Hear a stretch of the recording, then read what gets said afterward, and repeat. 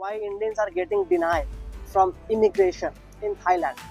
तो इसका भी बहुत सारे रीज़न है जो लोग जो कि आप लोग बहुत जान को पता नहीं है। जिनको पता है उनको वेल एंड गुड है आपके लिए। जिनको नहीं पता है उनको हम बता देना चाहते हैं। आज का वही ब्लॉग बनाएँगे।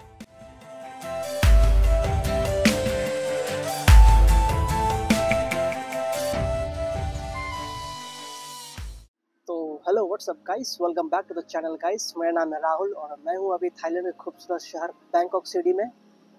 पीछे का नज़ारा कैसा लग रहा है, मेरे को कमेंट में ज़रूर बताइएगा आप लोग। ये अभी ग्रैंड पैलेस के उल्टे ऑपोजिट साइड में है। ये पीछे में ना, ये ग्रैंड पैलेस है, इसके अंदर में ग्रैंड पैलेस है। अभी ग्रैंड पैलेस का रिपेयरिंग चल रहा है तो अभी शायद बंद है। तो सोचे यहाँ से मौसम अच्छा था तो यहीं पास में एक्सरसाइज करने आए डेली आते हैं हम।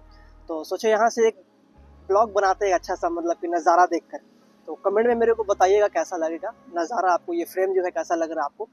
और ये आज का ये जो ब्लॉग बना रहे कुछ लोगों का मैसेज आ रहा था रिगार्डिंग थाईलैंड में आने के लिए लोग मतलब कि क्यों डिनाई कर दिए जा रहे हैं इमिग्रेशन की तरफ़ से? मतलब कि why Indians are getting deny from immigration in Thailand तो इसका भी बहुत सारे रीज़न है, जो लोग, जो कि आप लोग बहुत जन को पता नहीं है। जिनको पता है, उनको वेल एंड गुड है आपके लिए। जिनको नहीं पता है, उनको हम बता देना चाहते हैं। आज का वही ब्लॉग बनाएँगे। कुछ भाई लोग मेरे से पूछ रहे थे कि लास्ट टाइम आए थे तो मतलब कि मेरा एंट्री जो था, वो डिनाई कर दिया गया थाईलैंड में। तो हम पूछे उनसे रीज़न तो रीज़न तो कुछ बताए नहीं, वो कि सब कुछ मेरा ओके था, लेकिन फिर भी हम, फिर उनसे हम पूछे कि आपका ट्रैवल हिस्ट्री क्या है? तो ट्रैवल हिस्ट्री जो जो बताया मेरे को तो वो एक्सपीरियंस था उनका। तो वही हम जाने हैं इनका ट्रैवल हिस्ट्री क्या था, जिसके कारण उनको मतलब डिपोर्ट किया गया था डिनाई किया। बहुत जन लोग का। तो तीन चार जन से बात हुआ था हमारा तो वो लोग का अलग अलग एक्सपीरियंस था। तो वही आज शेयर करेंगे ताकि जब भी आप लोग आए तो इन सब चीज़ों से सावधान रहिएगा। तो ब्लॉग को शुरुआत करते हैं। तो शुरुआत करने से पहले आप लोग से रिक्वेस्ट कर देते हैं। अगर आप लोग चैनल पर नए हैं तो चैनल को लाइक कर दीजिएगा सब्सक्राइब कर दीजिएगा शेयर कर दीजिएगा। शेयर कर देंगे तो बाकी लोगों के पास में पहुंचेगा। जो लोगों को इन्फॉर्मेशन चाहिए अपडेट चाहिए तो अपडेट मिल पाएगा। और सब्सक्राइब कर दीजिएगा तो अपडेट अपकमिंग डेज़ में जो ब्लॉग आएगा तो उसका नोटिफिकेशन आपको मिल जाएगा, जिससे आइकन दबा दीजिएगा। नोटिफिकेशन मिल जाएगा आपको, आप लोग, जाके आप लोग के अपडेट रहिएगा आप लोग। ठीक है ना? तो ब्लॉग शुरुआत करते हैं आज का। ठीक है? तो रीज़न ये होता है, बहुत जन आते हैं। देखिए, हम रीज़न बताएँगे वन बाय वन बताएँगे, उसको एक्सप्लेन करेंगे आज। ठीक है?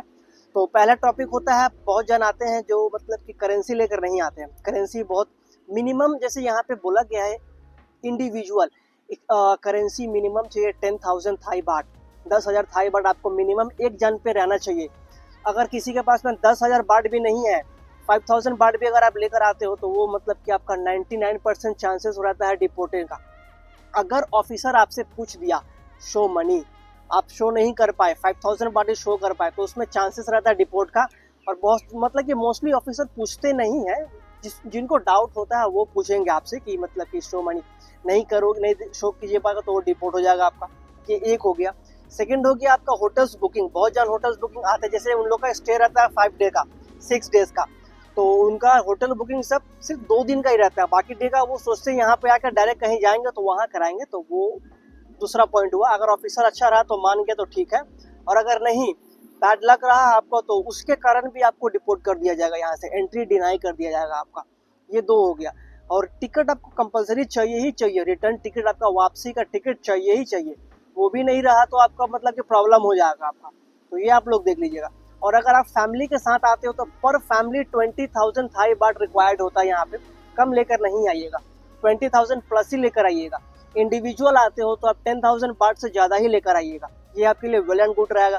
ट्वेंटी थाउज़ेंड बाट जैसे कि लास्ट पिछले ब्लॉग में भी हम बताए हैं, minimum one thousand USD dollar लेकर आइएगा तो वेल एंड गुड रहेगा आपका सारा कुछ स्ट्रॉन्ग रहेगा डॉक्यूमेंट्स वगैरह सारे कुछ होटल्स वगैरह सारे बुकिंग करके आइएगा।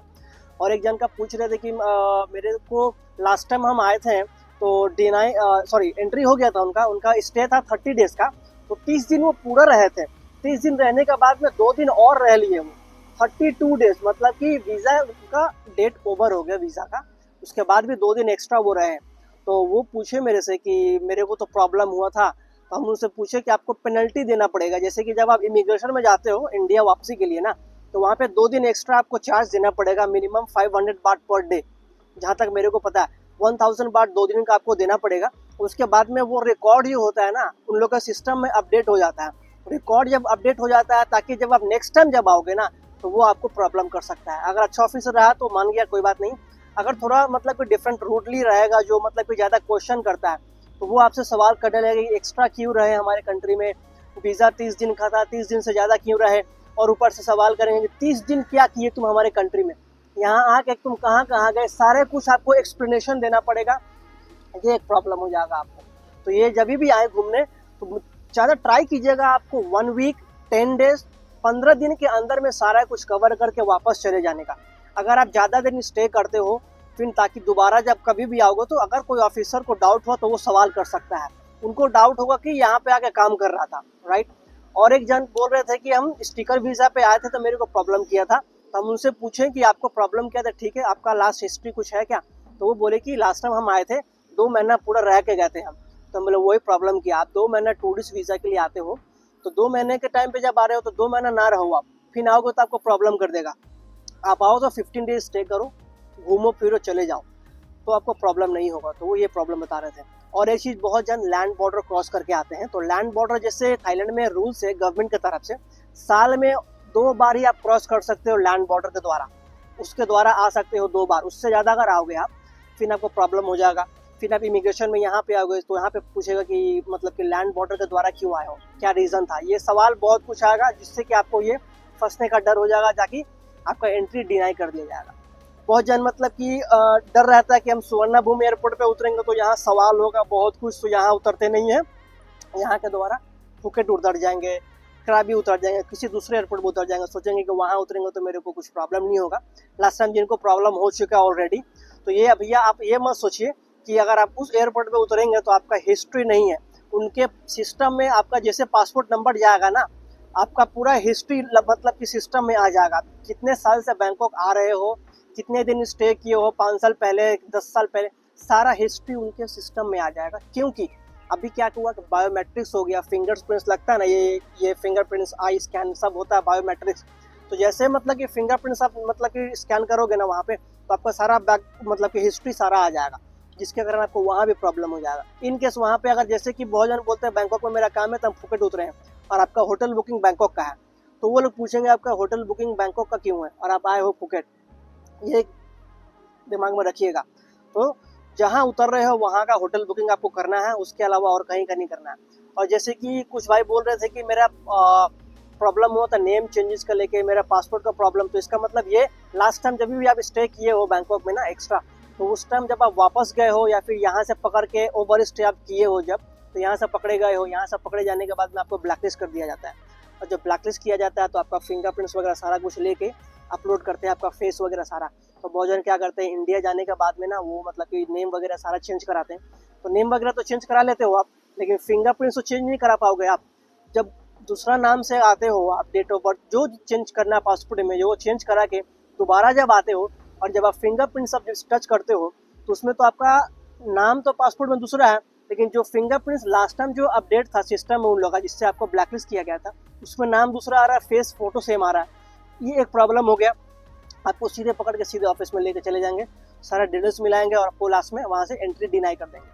और अगर आप जेनविन पैसेंजर हैं आप जेनविन घूमने के लिए आ रहे हैं, आपके पास में पूरा डॉक्यूमेंट्स है इन केस उनको अगर डाउट होता है, जिसके कारण आपको वहाँ, यहाँ एंट्री नहीं देते हैं, आप उनसे बात कर सकते हो कि if you will not allow me so what I can do I want to go to some other country I will book ticket now आपको तुरंत बुक टिकट बुक करना है। टिकट बुक करने के बाद में दूसरे कंट्री में आप जा सकते हो।